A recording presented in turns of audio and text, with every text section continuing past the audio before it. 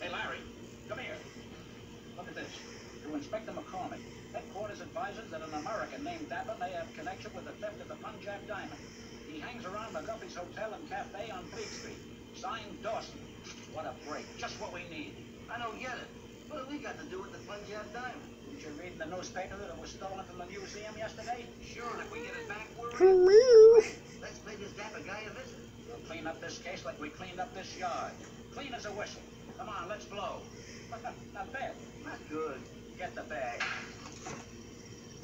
Get the bag. Get that. Hey, fellas, wait for me. Wait for me.